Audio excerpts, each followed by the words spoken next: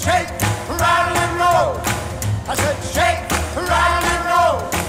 Day 58 Earthquakes and Death. Well, death, you know, is not my favorite topic to uh, investigate or talk about, but it is what it is in this day and age, May 11th. But besides that, let's go over the numbers real quick. At number one, 79,607 from the United States. Now, again, I don't necessarily trust all those numbers. You know, some guy could jump out of an airplane without a parachute. He falls to his death, quite obviously. And then they say he died of COVID 19. Right. Spain, 26,621. The UK, 32,140. Russia, still not reporting these numbers correctly, but 2009. Good year. Italy, 30,000. Hmm. France, 26,000. And Alemania, Germany, 7,569. hmm Now, in my part of the world, down over here, Brazil coming in at 7,000. Oh, excuse me. No, not 7,000, but 11,207. 7,000 was last week. Lima, Peru, coming in at 1,889. Well, not the city itself, but the whole country in total. Ecuador, my backyard, 2,127, mostly in the uh, city of Guayaquil, but it's found its way in around the country pretty well. There's even a uh, news story about some tribe that was had like 100 people in uh, south in uh, southern Ecuador that had about half its population, 50, that had the uh, the coof, the human malware, and they were uh, you know struggling. Pretty interesting. Um, let's take a take a quick swing around South America. Chile 312, Argentina 305, Uruguay 19, Paraguay 10, Braz- uh, Bolivia 118, French Guiana 1, Suriname 1, Guyana 10, Venezuela 10, which I'm willing to believe those numbers because nobody is in the right mind is going back there. Not necessarily the truth though. There are people who left Venezuela and came down to uh, came into Colombia, Ecuador, uh, Peru, Chile, Bolivia, etc., looking for work. Now there's no work; they want to go back, and Venezuela is not wanting them really back, and Colombia doesn't want them to transverse their country. So they're sort of in a rock and a hard place, sort of a uh, no man's land. That's kind of unfortunate. And coming in with Colombia, 463. Right. I mean, again, South America is not the worst place, but compared to, you know, Europe, China, it's not bad. Um, I'm not sure. There's not much news coming out of Brazil other than people reporting on the numbers of how many are dead there. But again, and check out my vacation spot every year, hopefully this year again, 244 in Panama. So there's that. Um, again, these are numbers that, you know, whether you believe or not, it's just, I actually honestly believe most of them are telling the truth per se. I, I don't see why they, you know, like for instance, like Venezuela would fudge their numbers, but then again, governments lie. So, mm, so you'd have to kind of think about that for a second, kind of like ask yourself, you know, some serious questions like, are they, are they telling the truth? Are they messing with us? What's going on here? Interestingly enough, since I am on the ring of fire, if you will, as the world is distracted by COVID 19, a series of large earthquakes is rocking the ring of fire. Interestingly enough, okay, this was last week. I was laying in bed, kind of half asleep, half awake, and I kind of felt a earthquake. no one else felt it in the house. But then my wife a couple days ago says, "Oh, by the way, there was an earthquake. It was a 2.2." It's like, yeah, I know. See, growing up in California, you don't get out of bed for anything above or below a 6.5. You just kind of you just kind of ride it through because it's not a big deal. Um, it's pretty interesting that we sort of ignore the overt sort of things instead of the covert sort of viral infections, sort of like the big. Now I understand if they're if you're such as a territory as Puerto Rico, you have a problem because you've been hit by what three earthquakes in the last couple of months. I don't I don't know why. As you can see this blurb right there. See if I can I can't. Maybe I can. Nah, I'm not going to go into that. Okay, within the past several days, large earthquakes have been striking all along the outer rim of the Pacific Ocean, and many are wondering if all this activity could activity potentially could be building up to something really big. Probably not. But see, that's what they always say. It's like, oh, we're expecting a big one. When? I, I don't know. I mean, you can't. That's like the saying, you're gonna die. Yeah, we all die, but you know that that's kind of like a sort of a ambiguous sort of statement. You're going to die. Yeah, we all are. I hope it's on an earthquake. Those that follow my work on a regular basis know I have been deeply concerned about seismic activity on the West Coast for a long time, and scientists assure us that it is just a matter of time before the big one hits us. According to Wikipedia, not a source, dipstick, Approximately 81% of all large earthquakes take place along the Ring of Fire, and of course, west coast of North America accounts for a large stretch of it. As you can see uh, from this map, the, Calif- the California Alaska coastlines have been absolutely peppered by quakes in recent days, but nobody's really talking about these quakes because everyone's focused on the human, well- human malware number 19 right now. Yeah, we get it. That is what it is.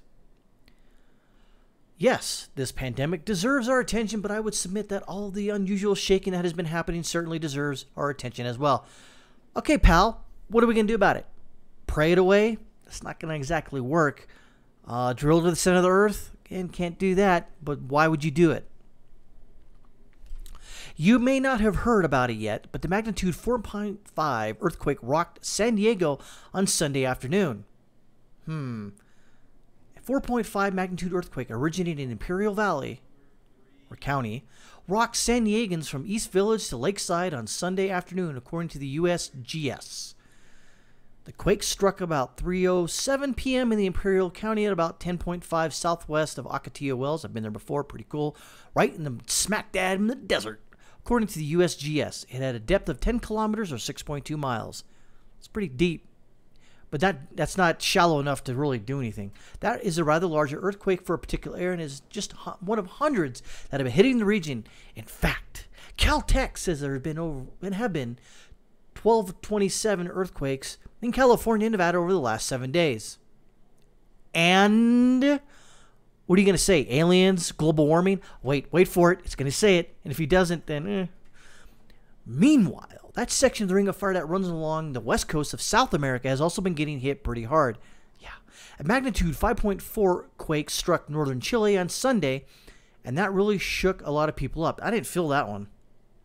Subsequently, the portion of the Ring of Fire that runs along the coast of Japan has been hit by a magnitude 5.8 earthquake very late on Sunday.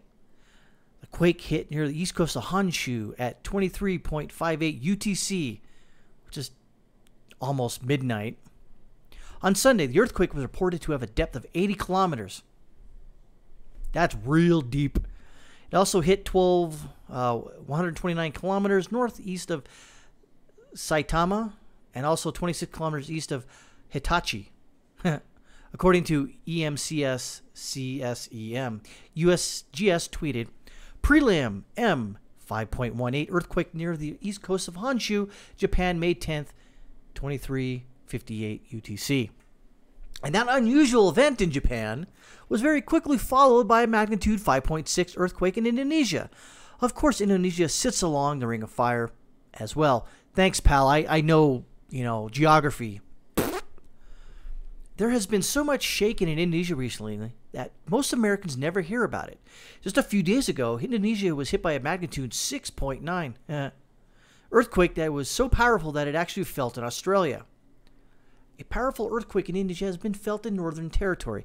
Residents of Darwin reported online that they had felt shake, which was registered at a 6.9 quake late Wednesday evening.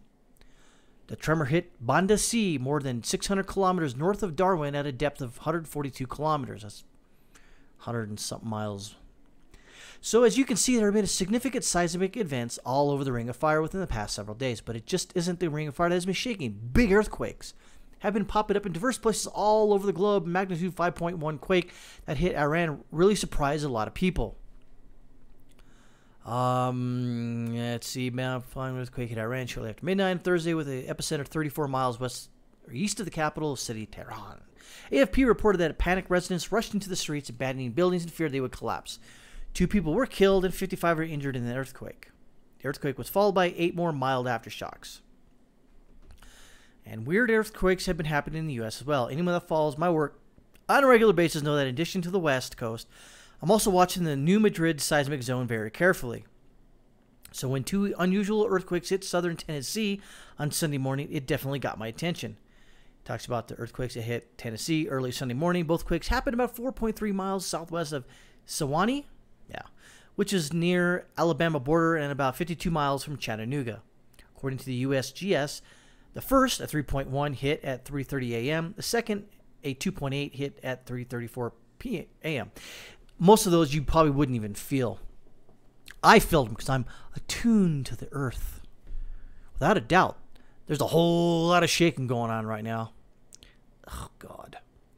That does not necessarily mean a major event of some sort is imminent. Thank you. And we should certainly hope that a next major event can be put off for as long as possible. Right. But as I keep warning, the crust of our plate, our planet, is very unstable, and as many have been warning that we should expect the instability to only get worse in the days ahead. Seismologists have warned us over and over that it's just a matter of time before absolutely devastates the West Coast. Well, I hope it does, as long as my mom isn't there. Let California slough off in the ocean. Who gives a crap?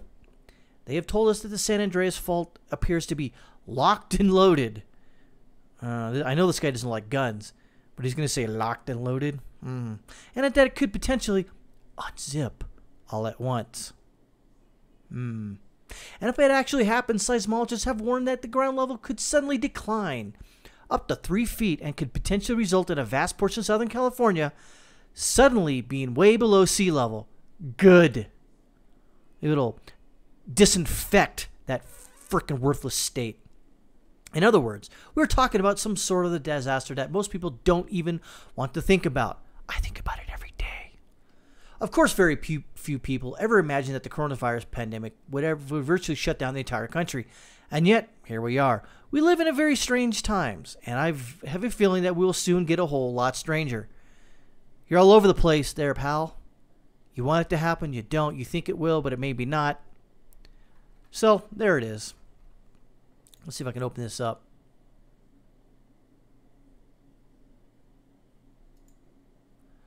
Go down to here. Cool. All right. So we'll leave it at that. And again, will the big one happen? Maybe, maybe not. Probably. I mean, this is this is this way the Earth goes around the sun. It just happens. Uh, the theory of plate tectonics is pretty cool, but you know we live in a uh, ever-changing world, just as we see now here on a day 58, where I'm here talking about earthquakes and death tolls, which you know probably a lot, not a lot of people want to hear about, but hey, it interests me a little bit. I don't want to talk about the the pandemic running through the White House right now. That's kind of interesting. I may do another video on it later, but uh, that's it is what it is. That's a day 58 for you, folks. We'll see you on day 59. I actually have a day 60 planned. Might be like a 20, 30 minute video, but I do have a really good uh, day 60 video planned. It ain't going to be, you know, George Lucas quality, but quality nonetheless. I'll see you later.